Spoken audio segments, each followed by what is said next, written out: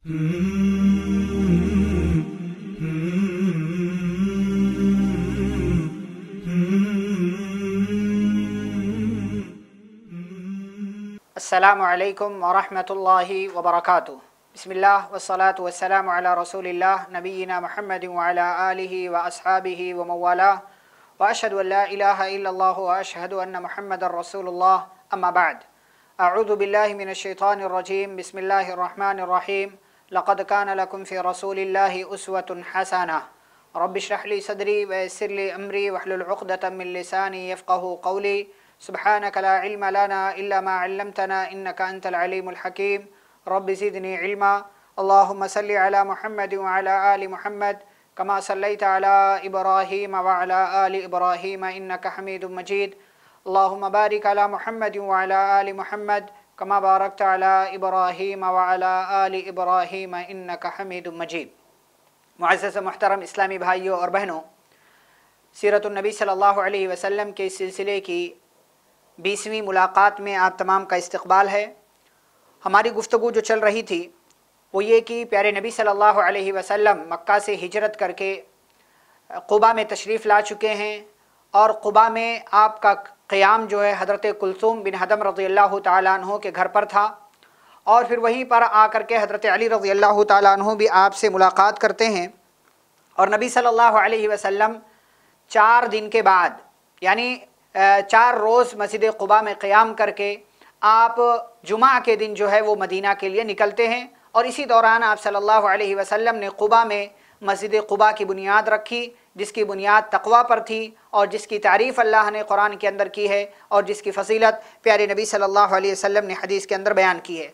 रास्ते में आपने बनु सालिम बिन औफ़ के महल्ले में जुमा की नमाज़ पढ़ाई, जुमा का वक्त हुआ और उसमें सौ आदमी शरीक थे। प्यारे नबी सल्लल्लाहु अलैहि वसल्लम अब मदीना के रास्ते पर हैं। कुबा भी मदीना के अंदर ही, शहर मदीना के अंदर ही आता है, लेकिन बहरहाल जो असल मदीना है, जहाँ पर प्यारे नबी सल्लल्लाहु अलैहि वसल्लम को ठहरना था, क़याम करना था नबी सल्लल्लाहु अलैहि वसल्लम जुमा के बाद मदीना के लिए निकले।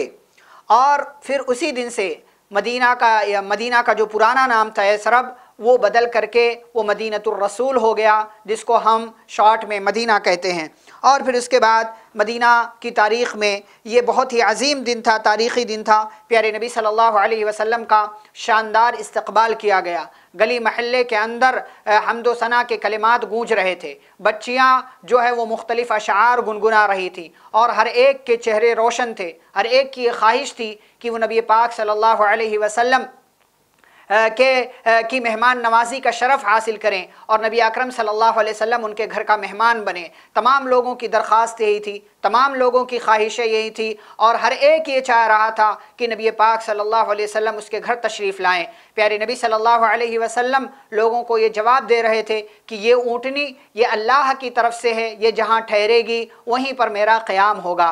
चुनानचा सही बुखारी वगैरह के अंदर मौजूद हदीस है कि नबी पाक सल्लल्लाहु अलैहि वसल्लम की ऊँटनी उस मकाम पर ठहरी जहाँ आज मस्जिद नबवी है, जहाँ पर मस्जिद नबवी की तामीर की गई है। और जब वहाँ ऊँटनी ठहरी तो प्यारे नबी सल्लल्लाहु अलैहि वसल्लम ने पूछा कि यहाँ से किसका घर करीब है? तो हज़रत अबू अयूब अंसारी रज़ी अल्लाह तु ने जवाब दिया अल्लाह के नबी सल्लल्लाहु अलैहि वसल्लम, मेरा घर करीब है। और फिर आप सल्लल्लाहु अलैहि वसल्लम ने उनसे कहा कि जाओ मेरे ठहरने का इंतज़ाम करो। चुनानचा हज़रत अबू अयूब अंसारी रज़ी अल्लाह तु गए और इस तरीके से उन्हें मेज़बान रसूल बनने का शरफ़ हासिल हुआ कि नबी अकरम सल्लल्लाहु अलैहि वसल्लम की उन्होंने मेहमान नवाजी की और प्यारे नबी सल्लल्लाहु अलैहि वसल्लम के ठहरने का अपने घर में इंतज़ाम करने का उन्हें मौका मिला।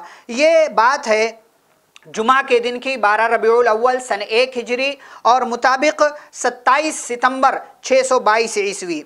अब फिर यहाँ पर जब आप सल्लल्लाहु अलैहि वसल्लम मदीना पहुँच गए तो आपके घर के बहुत सारे लोग अभी मक्का के अंदर थे। जैसे आप सल्लल्लाहु अलैहि वसल्लम की दूसरी बीवी, हज़रत सौदा रज़ी अल्लाह तहा आपकी दो बेटियाँ, हज़रत उम कुलसूम और हज़रत फ़ातिमा रज़ी और आपके आपके रिश्तेदार कह लें कि हज़रत असमा रज़ी अल्लाह तहा और इसी तरीके से हज़रत आयशा रज़ी अल्लाह तहा इन तमाम को लेकर के अबू बकर सिद्दीक़ रज़ी अल्लाह तह के बेटे हज़रत अब्दुल्ला वो मदीना आ गए और ये तमाम लोग भी प्यारे नबी सल्लल्लाहु अलैहि वसल्लम के पास पहुँच गए। प्यारे नबी सल्लल्लाहु अलैहि वसल्लम की एक बेटी हज़रत जैनब जो बड़ी बेटी थी, वो वहीं मक्का में रह गई, क्योंकि उनके शौहर जो थे अबुल आस बिन रबी, उन्होंने उन्हें आने नहीं दिया, क्योंकि वो काफिर थे, और अभी तक उन्होंने आने की इजाज़त नहीं दी, और बहरहाल उसके बाद वो एक लंबी मुद्दत के बाद जो है मदीना की तरफ़ वो हिजरत करके आई। प्यारे नबी सल्लल्लाहु अलैहि वसल्लम की एक और बेटी हज़रत रुकैया रज़ी अल्लाह तहा वो पहले ही अपने शौहर हज़रत उस्मान रज़ी अल्लाह तह के साथ कि जो हबशा की तरफ़ हिजरत करके गए थे, वो पहले ही ये लोग मदीना हिजरत करके आ चुके थे। जैसा कि तफसील बयान की जा चुकी है।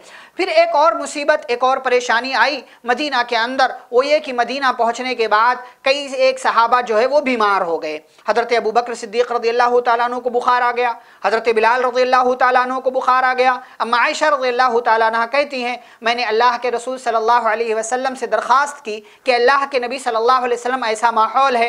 आबो हवा जो है वो मक्का के लोगों को, यानी हिजरत करके आने वालों को सूट नहीं कर रही है। लिहाजा आप अल्लाह से दुआ कर दीजिए। प्यारे नबी सल्लल्लाहु अलैहि वसल्लम ने दुआ किया अल्लाहबिब इलमदीनत कहब मक्ता वशद मिनहा कहा अल्लाह कि मदीना की मोहब्बत हमारे दिलों में ऐसे ही डाल दे जे कि जैसे जैसे मक्का हमें महबूब है या मक्का की मोहब्बत से ज़्यादा अल्लाह तो मदीना हमारे नज़दीक वो महबूब बना दे और मदीने की मोहब्बत हमारे दिलों के अंदर डाल दे और मज़ीद ये दुआ किया कि अल्लाह मदीना की आबो हवा जो है वो सेहत वाली कर दे यहाँ का क्लाइमेट अच्छा हो जाए और एक दुआ यह किया कि अल्लाह यहाँ के गलों में यहाँ के अनाज में यहाँ के पैम पैमानों में बरकत दे और यहाँ का बुखार जो है वो जहफ़ा को मुंतकिल कर दे। अल्लाह ने प्यारे नबी सल्लल्लाहु अलैहि वसल्लम की दुआ कबूल कर ली और आबो हवा, बल्कि पूरा माहौल बदल गया और तमाम लोगों के रहने के लायक हो गया। इस तरीके से तमाम मुसलमानों को, तमाम सहाबा को इस परेशानी से नजात मिल गई। अब मदनी ज़िंदगी का आगाज़ हो चुका है। प्यारे नबी सल्लल्लाहु अलैहि वसल्लम मदीना में तशरीफ़ ला चुके हैं। आप सल्लल्लाहु अलैहि वसल्लम कि मदीना आमद हो चुकी है, मदीना एक तारीख़ी शहर बन चुका है, मदीने वालों को अपने ऊपर फ़ख्र हो रहा है कि उनके दरमियान नबी पाक सल्लल्लाहु अलैहि वसल्लम तशरीफ़ फरमा है। अब मदनी ज़िंदगी का आगाज़ होता है तो मदनी ज़िंदगी, जिसकी तकरीबन कुल मुद्दत दस साल है, इसको हम तीन हिस्सों में डिवाइड करते हैं। पहला हिस्सा जो है, वो इब्तदा से लेकर के सन छः हिजरी तक, यानी गोया कि छः साल आप कह लें, ये छः साल की ये मुद्दत, इस मुद्दत के अंदर बहुत सारी तकालीफ, बहुत सारी परेशानियों का मुसलमानों को सामना करना पड़ा। कई एक जंगें हुई, रुकावटें आईं, और कुफ़ार की तरफ़ से परेशानियाँ खड़ी की गई। मक्का के मुशरकिन की तरफ़ से इतनी दूर भी, इतनी दूर भी उन लोगों ने रुकावटें खड़ी करने की कोशिश की, बहरहाल, लेकिन ये मरहला, और ये जो सिलसिला था ये सुलह हुदैबिया, यानी जीकादा सन छः हिजरी पर जाकर ख़त्म हो जाता है। उसके बाद एक नए दौर का आगाज़ होता है, सुलह के बाद वाला दौर, और जिसमें इस दौर में बुतों के पुजारियों के साथ सुलह की गई, बादशाहों के नाम खतूत लिखे गए, ज़िम्मेदारों को इस्लाम की तरफ़ दावत दी गई, और ये मरहला जो है, वो मक्का फ़तेह होने तक, यानी रमज़ान सन आठ हिजरी तक जाता है। गोया की पौने दो से दो साल आप कह लीजिए। उसके बाद फ़तेह मक्का जब मुकम्मल हुआ और मक्का की फतह जो है वो मुसलमानों की मिली तो उसके बाद तीसरा दौर मदनी ज़िंदगी का शुरू होता है। ये वो दौर है कि जिसके अंदर लोगों ने जमात दर जमात, यानी बहुत कसरत के साथ लोग इस्लाम में दाखिल हुए और दूसरे इलाक़ों से लोग जमात की शक्ल में आए और उन्होंने नबी पाक सल्लल्लाहु अलैहि वसल्लम का लाया हुआ दीन कबूल किया। और ये सिलसिला प्यारे नबी सल्लल्लाहु अलैहि वसल्लम की वफ़ात, यानी रबी अव्वल सन एक हिजरी पर जाकर ख़त्म हो जाता है। तो मदनी ज़िंदगी को हम इन्हीं तरीक़ों से इन देखने की और जानने की कोशिश करेंगे। लेकिन कबल इसके कि मदनी ज़िंदगी की बहुत सारी बातें बयान की जाएँ, मदीना के ताल्लुक़ से कुछ बातों का जानना हमारे लिए ज़रूरी है। कुछ बातों का जानना हमारे लिए ज़रूरी है और वो बातें ये हैं कि कबल इसके कि मदीना की ज़िंदगी का आगाज़ हो, हमारे लिए ये ज़रूरी है कि हम ये देखें कि उस वक्त जिस दौर में नबी पाक सल्लल्लाहु अलैहि वसल्लम हिजरत करके मदीना आए तो उस वक्त मदीना के हालात क्या थे? और मदीना में रहने वालों के हालात क्या थे? तो मदीना में बुनियादी तौर पर तीन टाइप के लोग मौजूद थे। नंबर एक, मुसलमान, यानी जिन्हें अंसार कहते हैं। नंबर दो, मुशरकिन, और नंबर तीन, यहूदी। ये तीन टाइप के लोग जो है, वो तीन अलग अलग आप कह लें मज़हब के मानने वाले लोग मौजूद थे। सबसे पहले बात करते हैं मुसलमानों की। मदीना में जो मौजूद मुसलमान थे, जो सहाबा थे, यानी अंसार महाजरीन, उनकी हालत क्या थी? तो देखें मदीना में जो ये मुसलमान थे, ये मुसलमान इन्हें हर तरह का इख्तियार हासिल था। इनके ऊपर कोई पाबंदी नहीं थी। ये यहाँ पर मज़बूत थे, कमज़ोर नहीं थे। मक्का के मुसलमानों की तरह या मक्की ज़िंदगी की तरह ये यहाँ पर कमज़ोर नहीं थे, बल्कि यहाँ पर जो मुसलमान थे, वो मज़बूत थे। उनके ऊपर किसी की हुक्मरानी नहीं थी, इसलिए अब ये वक्त मुसलमानों के पास आ चुका था कि एक इस्लामी मुआशरा बनाया जाए, एक इस्लामी सोसाइटी बनाई जाए और ज़ाहिर सी बात है कि उसके लिए वक्त चाहिए, वक्त मिला उन्हें, अल्लाह ने मदद की। प्यारे नबी सल्लल्लाहु अलैहि वसल्लम का साथ था, सहाबा जो है वो इल्म हासिल करने वाले थे। इसलिए ये मदनी ज़िंदगी के अंदर इस्लामी मुआशरा बनाने की ज़िम्मेदारी जो है उन्होंने ठानी। लेकिन एक मुसीबत ये थी, वो मुसीबत ये कि मतलब इकतसादी तौर पर ये मुसलमान यहाँ पर कमज़ोर थे। अंसार जो थे मदीना के रहने वाले, बहुत ज़्यादा मालो दौलत, माली एतबार से, दौलत के एतबार से बहुत ज़्यादा मज़बूत नहीं थे। इनके ऊपर किसी का इख्तियार तो नहीं था, लेकिन मालो दौलत के एतबार से ये बहुत ज़्यादा मज़बूत नहीं थे। और ऊपर से ये कि मक्का के महाजरीन, मक्का के मुसलमान भी इनके पास जब आ गए तो इकतसादी जो तोज़ुन था, जो बैलेंस था, वो बिगड़ गया, वो और बिगड़ गया। और इससे भी बड़ी मुसीबत एक और आई कि इस्लाम के जो दुश्मन थे, उन तमाम दुश्मन ताकतों ने इकतसादी तौर पर मदीना का और मदीना के मुसलमानों का बाईकाट कर दिया। जिससे क्या हो गया कि सामान के आने जाने का मामला जो है वो बिल्कुल बंद हो गया और हालात मुसलमानों के लिए बहुत ज़्यादा ख़राब हो गए। ऐसी सूरत हाल में नबी पाक सल्लल्लाहु अलैहि वसल्लम ने किस तरीके से जो है इस इन तमाम हालात को डील किया और कैसे ऐसी तमाम तर सूरत हाल से सहाबा को, मुसलमानों को, अंसार को आपने आपने निकाला, वो आगे इन स्टेप बाई स्टेप बातें आती रहेंगी। दूसरे टाइप के जो लोग थे मदीना के अंदर, वो हैं मुशरकिन। मदीना के मुशरकिन। और ये जो मुशरकिन थे, जो असल बाशिंदे थे, यानी असल जो थे, वो यही लोग थे मदीना के अंदर। अब ये लोग, बज़ाहिर ये असल बाशिंदे थे, लेकिन मुसलमानों पर इन्हें किसी तरह का गलबा हासिल नहीं था। ये मुसलमानों के ऊपर मुसलत नहीं थे, कब्जा नहीं था इनका मुसलमानों पर। लेकिन इन्हीं मुशरकिन में दो टाइप के लोग थे। दो टाइप के लोग थे। एक टाइप के लोग तो वो कि जिनके दिलों में इस्लाम और मुसलमानों के ताल्लुक से शको शुबा था डाउट था। लेकिन इनके दिलों में दुश्मनी नहीं थी इस्लाम के ताल्लुक से, मुसलमानों के ताल्लुक से।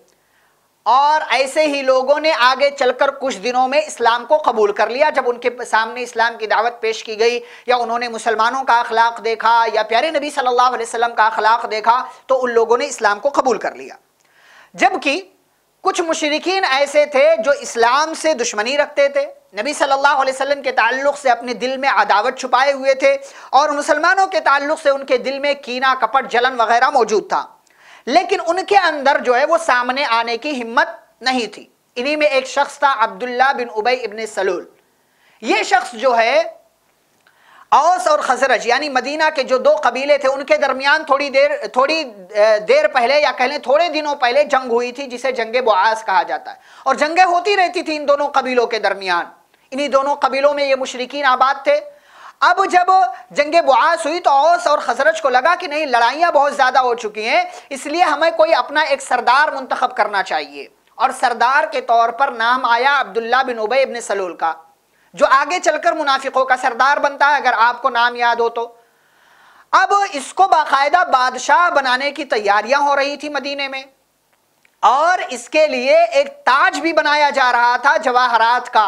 जेवरात का एक ताज बनाया जा रहा था कि इसके सर पर इसकी ताजपोशी करके हम इसे अपना बादशाह मान लेंगे। लेकिन इसी दौरान जबकि ये सारा मामला चल रहा था, नबी सल्लल्लाहु अलैहि वसल्लम हिजरत करके मदीना आ गए और तमाम लोगों की तवज्जो अब्दुल्ला बिन उबे से हटकर प्यारे नबी सल्लल्लाहु अलैहि वसल्लम पर आ गई। अब जब उसने ये मंजर देखा कि मेरे बादशाह बनने का रास्ता जो है वो ख़त्म हो गया तो उसने नबी सल्लल्लाहु अलैहि वसल्लम को अपना दुश्मन समझना शुरू कर दिया और फिर इस मौके से और आगे चलकर भी बहुत सारी साजिशें उसने इस्लाम के मुसलमानों के और प्यारे नबी सल्लल्लाहु अलैहि वसल्लम के खिलाफ की और इसके लिए उसने एक हथियार यह अपनाया कि उसने बज़ाहिर इस्लाम इस्लाम कबूल कर लिया, लेकिन उसने अपने दिल में अंदरूनी एतबार से जो है वो काफिर था, और जब भी मौका मिलता तो नबी सल्लल्लाहु अलैहि वसल्लम को और आपके सहाबा को परेशान किया करता था। ये तो थे दूसरे टाइप के जो है लोग थे मदीना के अंदर। तीसरे टाइप के जो लोग थे मदीना के अंदर वो हैं यहूदी, कौम यहूद। ये असलन कहाँ से आए थे? ये लोग इब्रानी थे। रोम के लोगों ने इन पर जुल्म सितम किया तो तंग आकर ये अरब भाग आए।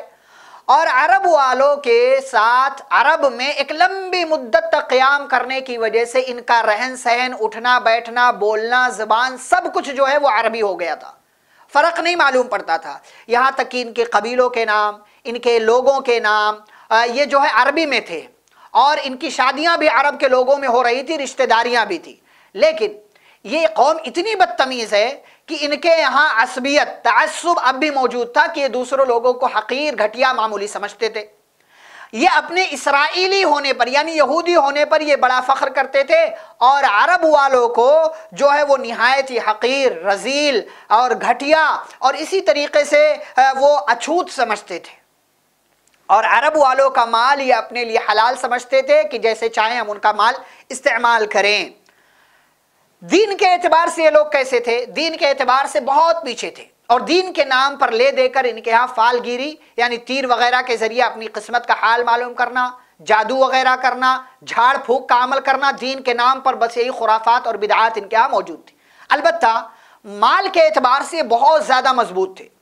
मदीना का जो बिज़नेस था, जो तिजारत था, जो तिजारती मतलब जो लेन देन के मामलात थे, वो सभी इन्हीं के हाथ में थे। खजूर गले, अनाज और शराब और कपड़ों वगैरह की तिजारत सब कुछ इन्हीं के हाथ में थी। और ये अरब वालों को जब अपना माल देते थे तो दो से तीन गुना ज़्यादा मुनाफा लिया करते थे। और सूद सूदखोर भी थे, यानी बड़ा, बड़े पैमाने पर ये सूद खाने का और सूद देने का काम करते थे। लोगों को अपना माल सूद पर देते थे। और बदले में उनकी खेती या उनकी ज़मीन या उनका बाग या कोई और चीज़ गिरवी रखवा लेते थे, रहन रखवा लेते थे और थोड़ी मुद्दत गुजरने के बाद वो उस खेती की ज़मीन के या उस बाग के मालिक भी बन जाते थे और सूद पर सूद सूद पर सूद वाला मामला चलता रहता था। और ये कौम जो है बड़ी मक्कार, चालबाज। अल्लाह ने जगह जगह कुरान में इनके ताल्लुक से ज़िक्र किया है।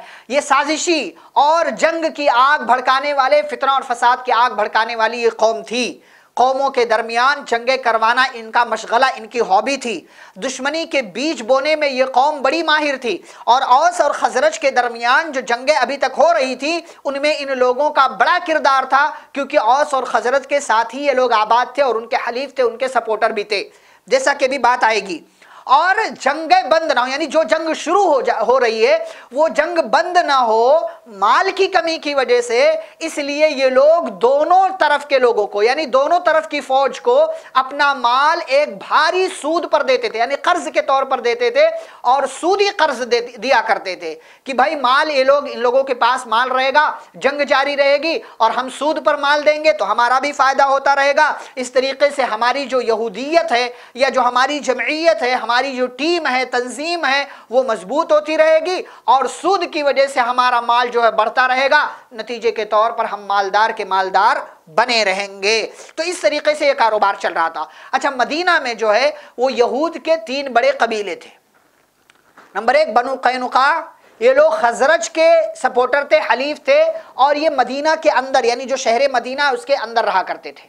और दूसरे और तीसरे कबीले जो हैं, वो बनु नज़ीर और बनु कुरैज़ा। ये दोनों जो है, औस कबीले के हलीफ सपोर्टर थे और जो है ये मदीना के किनारे वाले अतराफ में, वाले हिस्से में रहा करते थे। इन्हीं तीनों कबीलों ने यानी यहूदियों के तीनों कबीले बनु कैनुका बनु कुरैजा और बनु नज़ीर इन्हीं तीनों ने औस और खजरज के दरमियान दुश्मनी की राह जो है वो हमवार की थी और साजिश के तौर पर कि कहीं हमारे ऊपर शक ना हो इन लोगों को ये लोग अपने अपने कबीलों के यानी अपने अपने हलीफ के साथ जिसके साथ इनका बाकायदा मुआहदा था एग्रीमेंट था चाहे वो औस हो या खजरज हो ये उनके साथ उन्होंने जंग में शिरकत भी की थी और कमाल की बात कि जब से इन यहूदियों को मालूम हुआ कि इस्लामी दावत मदीना में अपनी जगह बनाना चाहती है, तभी से वो इन मुसलमानों के और इस्लाम के ख़िलाफ़ चुपके चुपके साजिशें करने लगे, दुश्मन बन चुके थे। ये अलग बात है कि इसका इजहार उन लोगों ने एक लंबी मुद्दत के बाद किया। तो ये थी बात कौम यहूद के ताल्लुक से कि ये लोग मदीना में आबाद थे और किस तरीके की हालत में थे। तो मदीना के हालात जो थे उस वक्त, जब प्यारे नबी सल्लल्लाहु अलैहि वसल्लम हिजरत करके मदीना आए तो उस वक्त तीन टाइप के लोग थे, मुसलमान, मुशरकिन और यहूदी, और इन तीनों की पूरी तफसील जो है वो आपके सामने बयान कर दी गई कि इनकी हालत क्या थी और इनकी पोजीशन क्या थी। अब नबी सल्लल्लाहु अलैहि वसल्लम मदीना में आ चुके हैं। तो मदीना आने के बाद आप सल्लल्लाहु अलैहि वसल्लम ने सबसे पहला काम क्या किया? और कौन कौन से काम आ, को आपने तरजीह दिया कि ये काम पहले हो जाना चाहिए फिर उसके बाद कोई और चीज़ शुरू होगी? तो आइए कुछ चीज़ें जानते पहली चीज़ मस्जिद नबवी की तामीर। आप कुबा में रहे सबसे पहले आपने मस्जिद बनाई। आप मदीना आए तो आपका जो सबसे पहला काम था वो मस्जिद बनाने का था। तो मुसलमान जहाँ भी रहे, उन्हें मस्जिद की सबसे पहले तामीर की जो है फ़िक्र करनी चाहिए और जो है रास्ता इख्तियार करना चाहिए। तो मस्जिद नबी की तामीर कैसे हुई? नबी सल्लल्लाहु अलैहि वसल्लम ने मस्जिद नबी की तामीर शुरू की। और जगह कौन सी ली गई? कौन सी जगह मुंतखब की गई? वही जगह जहाँ आप सल्लल्लाहु अलैहि वसल्लम की ऊँटनी बैठी थी, जैसा कि पहले बात बयान की जा चुकी जहाँ पर आप सल्लल्लाहु अलैहि वसल्लम की ऊँटनी बैठी थी, वहीं पर मस्जिद नबी की तामीर की गई।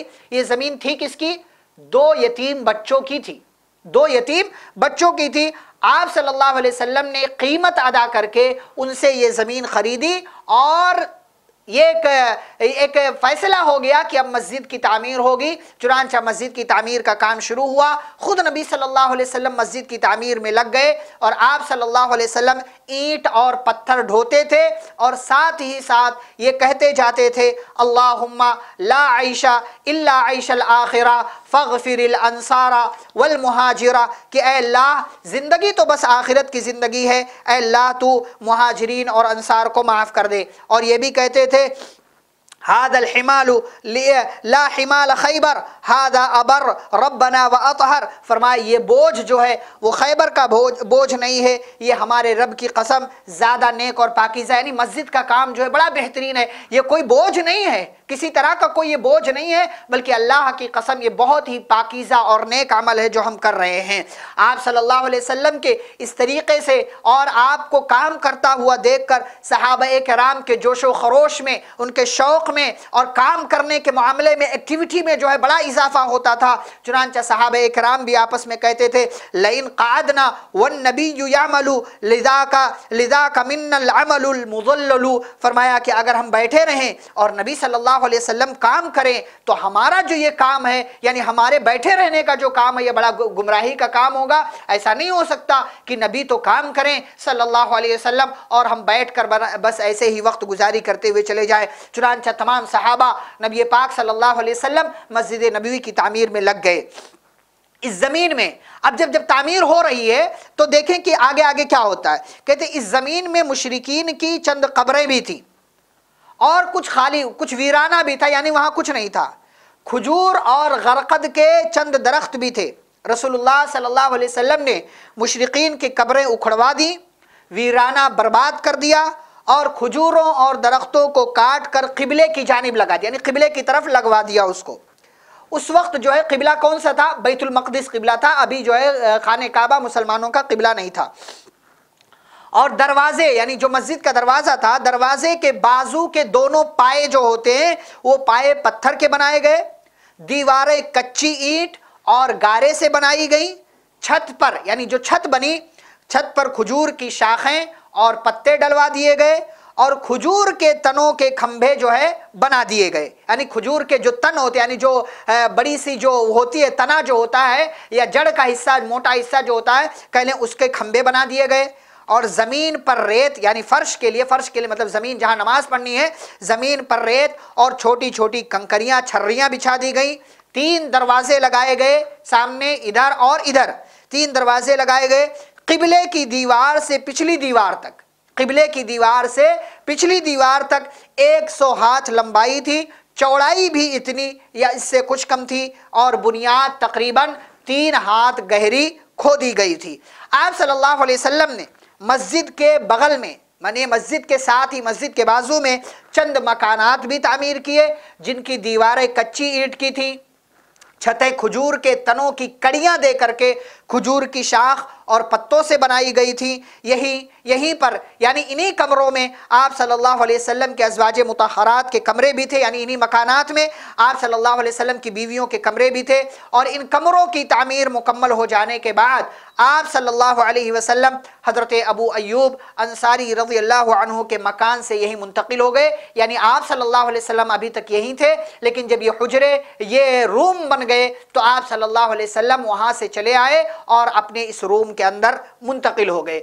मस्जिद तामीर हो गई, मस्जिद बन गई और मस्जिद की जो है इमारत, जो भी स्ट्रक्चर आपको बताया गया, वो सब तैयार हो गया। तो अब मस्जिद के अंदर वो सारे काम होने लगे जो काम मस्जिद के अंदर किए जाते हैं। लेकिन वो मस्जिद, जो मस्जिद नबवी है, ये मस्जिद एक यूनिवर्सिटी थी, जिसमें मुसलमान इस्लामी तालीमत व हिदायत का दर्स हासिल करते थे।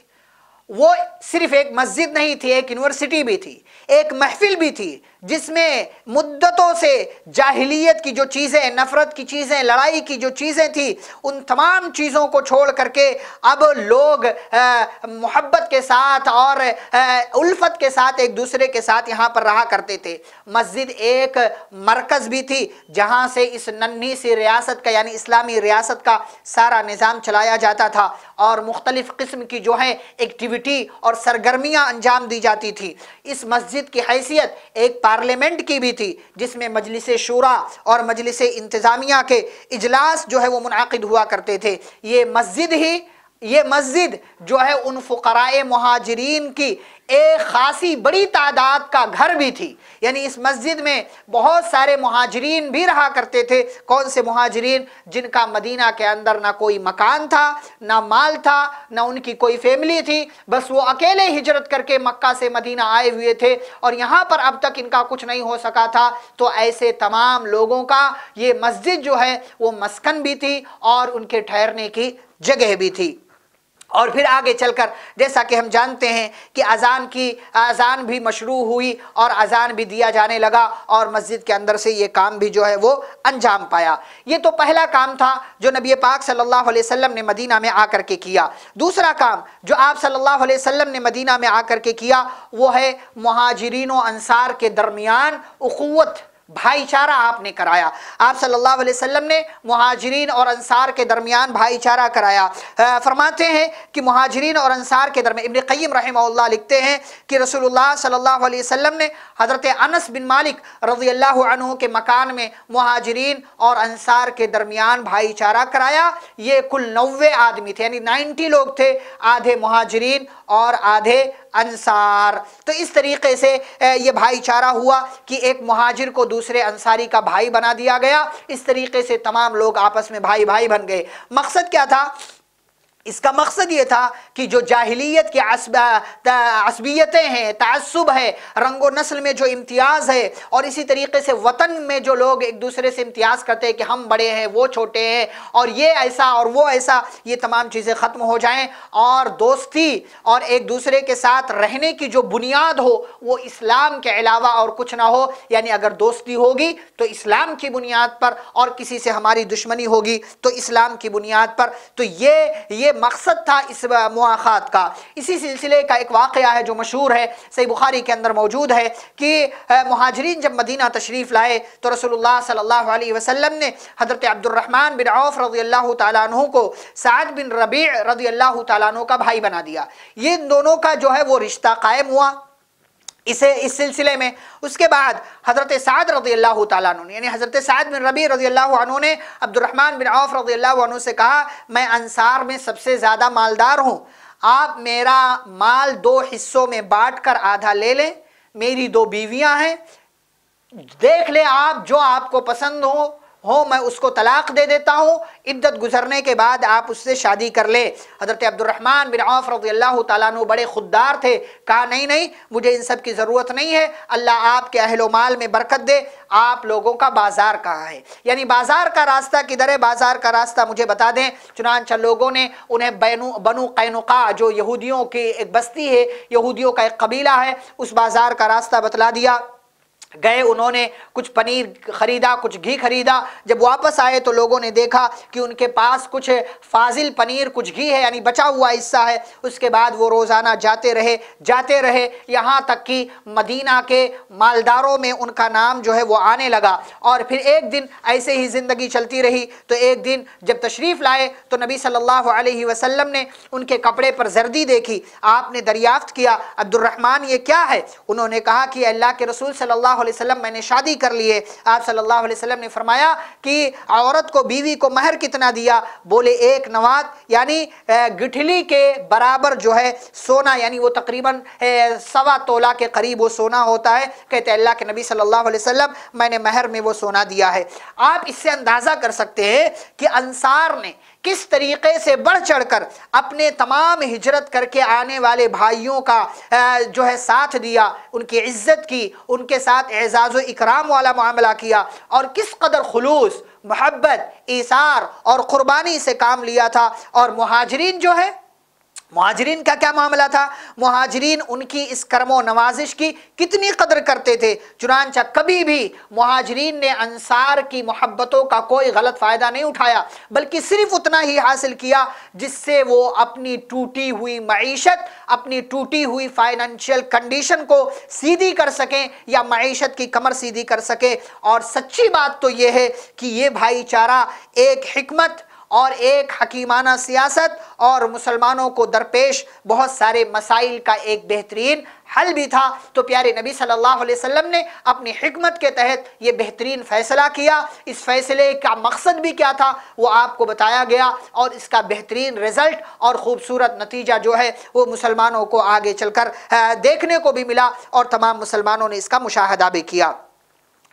एक तीसरा काम जो प्यारे नबी सल्लल्लाहु अलैहि वसल्लम ने यहाँ पर किया, और वो है कि आपस में एक दूसरे का ताउन करेंगे तो ताउन का पैमाना क्या होगा? यानी उसके पॉइंट्स क्या होंगे? और किन किन चीज़ों पर, यानी किस किस तरह की चीज़ों में हम एक दूसरे की मदद करेंगे? यानी वो खूबियाँ क्या हैं? वो चीज़ें क्या हैं? और वो बातें कौन सी हैं कि जिनकी बुनियाद पर एक दूसरे से ताउन किया जाएगा? तो नबी पाक सल्लल्लाहु अलैहि वसल्लम ने इस मुआखात के रिश्ते की तरह, भाईचारे की तरह आपने एक और अहदो पैमान कराया, जिसके ज़रिए तमाम तर जाहली चीज़ें और कबीले की जो कशमकश जो होती थी, लड़ाइयाँ होती थी, उन तमाम की बुनियादें आप सल्लल्लाहु अलैहि वसल्लम ने गिरा दी।